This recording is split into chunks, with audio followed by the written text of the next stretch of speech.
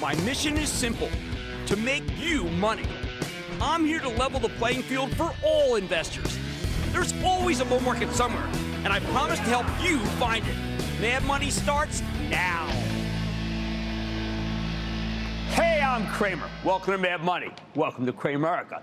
Uh, don't make friends. I'm just trying to save you a little money. My job is not just to entertain, but to teach you and put it all in context. So call me at 1 800 743 CBC or tweet me Jim Cramer. All right, here's the way this market works something will be happening for weeks or even months on end, but most investors pay no attention whatsoever.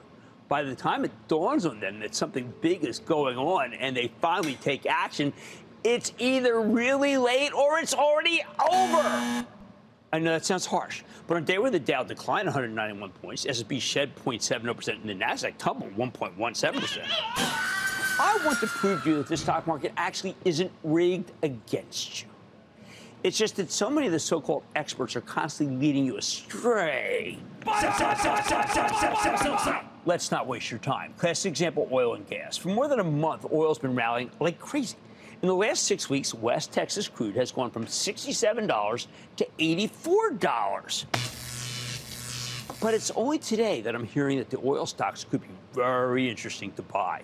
Now, I want you to imagine for a moment that you're in the CNBC Investing Club. Our philosophy is look for situations where stocks don't reflect the value of the companies underneath. Remember, these are companies. We bought a bunch of oil stocks for the charitable trust when things were nasty and ugly and it hurt for a while. But then oil and gas started coming back. We've been waiting patiently for Wall Street to notice.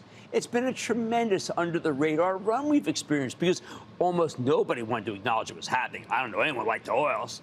Today, though, seemingly out of nowhere, I must have heard at least maybe read a half dozen pieces arguing that now it's time, now's the time to buy the oil stocks because they're so attractive. Buy, buy, buy, to which I say, Are you kidding? Sell, sell, sell. The oils were attractive six weeks ago. They're much less enticing now. These stocks were riding like mad during the whole month of July. It's just that nobody of alleged import seemed to know it.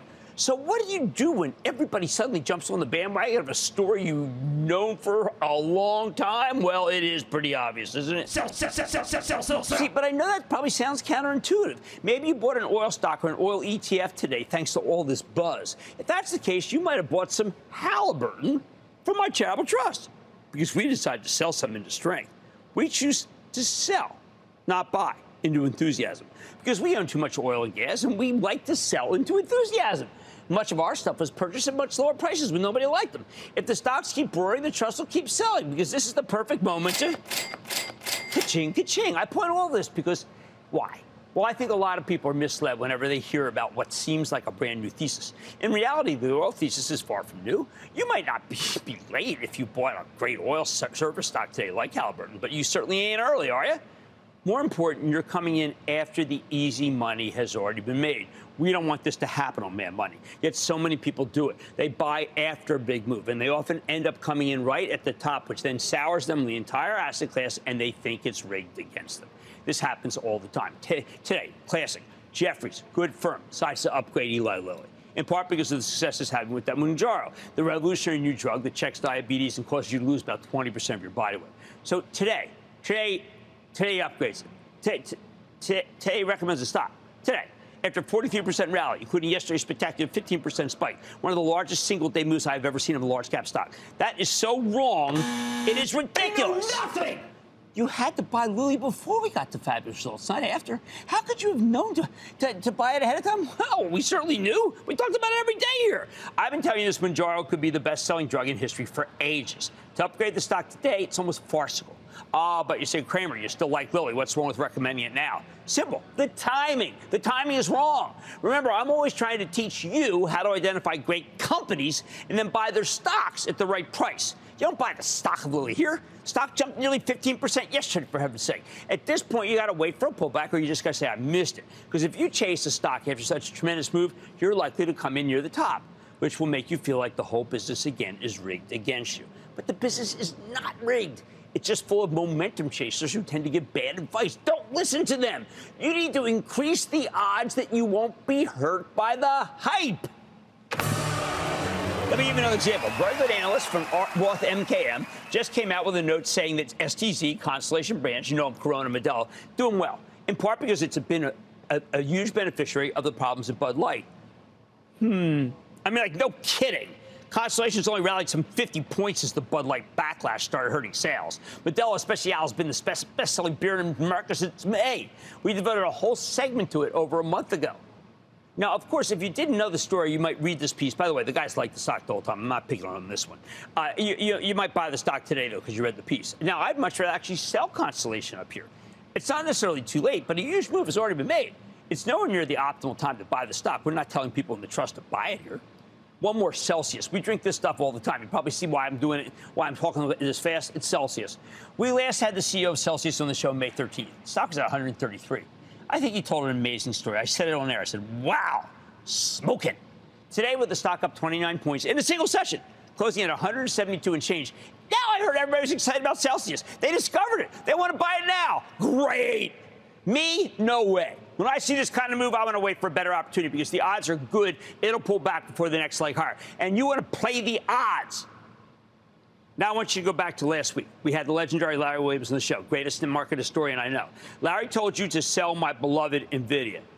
He said nothing can go straight up like this stock. He said it even though he knows we own NVIDIA for the Travel Trust. I'm absolutely not a seller. This is an own it, don't trade it stock for me. But you know what? Larry and I can actually both be right at the same time. Because the right answer depends upon your time frame. Larry's going to be dead right short term. NVIDIA's been going down for the past couple days. It's probably not done. He respected my positive long term view, though, but had no illusions about the stock's parabolic move. Those are not sustainable. Right now, Larry's looking very right short term, and that's what he cares about in this in this instance. Longer term, I think you're going to get a terrific entry point by NVIDIA. And that's how we both can be right. So I want you to think about all of this before you buy a stock. I need you to understand that you might be buying after a big move, which is usually a mistake. Do not buy momentum. Do not chase, bottom line. My goal is to get you to stop chasing stocks that have had huge runs. Because when they inevitably get hit, there's a very good chance you'll feel like the whole game is rigged and you'll give up on the entire asset class of stocks. And that is the worst mistake you can make. Let's go to Eric in Michigan. Eric. Jim, I want to talk about Rocket Mortgage today. Okay. That's a tough stock one. Is, Go ahead. Yeah. you got the floor. Go ahead.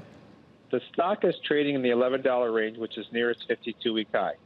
Can you see this stock doubling in the next 24 months once the Fed starts cutting rates later next year or even in 2025? Okay, if the Fed starts cutting rates, this stock probably does go up another 50%. I do that, that I mean that 5 But I still think we're going to have a couple rate hikes because I think the economy is still smoking hot. Most people don't agree with me on that. So I probably am more negative shorter term than most people. But that's how I got to play it straight. Straight. Michael in Massachusetts. Michael. Hi, Jim. Uh, great to talk to you. Long-time listener and watcher of your show. Oh, thank you, buddy. Um, I I was watching and looking into Broadcom in May, and yeah. then as we know, it had a very quick run up, and I didn't want to chase it, and I I'm wondering how much of a pullback it could possibly have here before I like jump in and I want to acquire a small position okay. of them.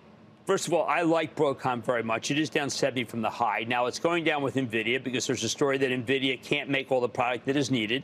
That's what's driving that down. This is joined at the hip with NVIDIA. It had a very big spike up.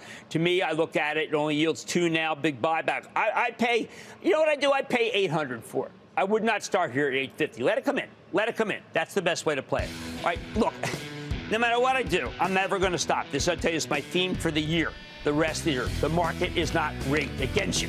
It's just filled with momentum chasers who give you bad advice. Listening to them and giving up on stocks entirely because you've lost money could be the worst mistake you can make. On Mad Money tonight, one that I like, Kellogg, right at the bottom.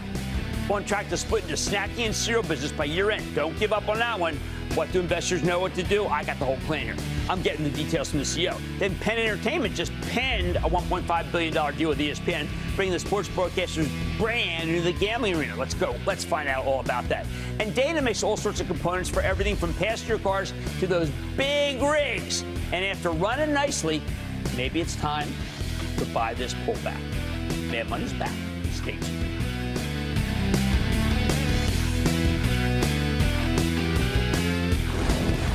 Don't miss a second of Mad Money. Follow at Jim Cramer on Twitter. Have a question? Tweet Cramer. Hashtag mad tweets. Send Jim an email to madmoney at cnbc.com or give us a call at 1 800 743 CNBC. Miss something? Head to madmoney.cnbc.com.